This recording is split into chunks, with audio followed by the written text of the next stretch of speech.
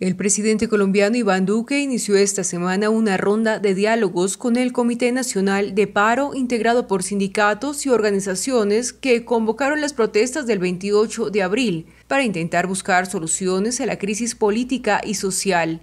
La reunión en la que se plantearon dos temas centrales sobre las garantías de las protestas y sobre el cese a la actuación desmedida de la fuerza pública contra la gente culminó sin acuerdos. Así lo expresó tras la reunión del presidente de la Central Unitaria de Trabajadores, Francisco Maltés. No se ha mostrado una empatía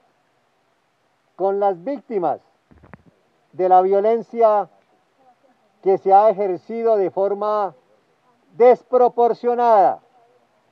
contra los manifestantes que lo han hecho pacíficamente.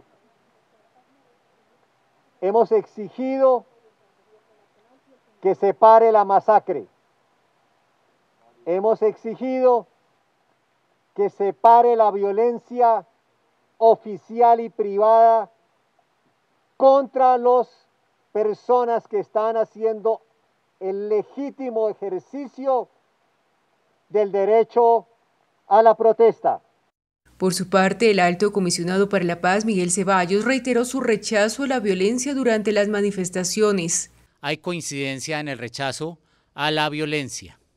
y en la cero tolerancia a cualquier conducta de la fuerza pública, y lo digo de nuevo, cero tolerancia a cualquier conducta de miembros de la fuerza pública que vaya contra la Constitución y la ley. Ceballos, que calificó la reunión de este lunes como exploratoria, hizo un llamado para que cesen los bloqueos. Los bloqueos, y así lo manifestamos con toda claridad, al Comité del Paro, atentan contra muchos derechos de los ciudadanos, contra el derecho a su movilidad, contra el derecho a la salud por la dificultad del acceso a los insumos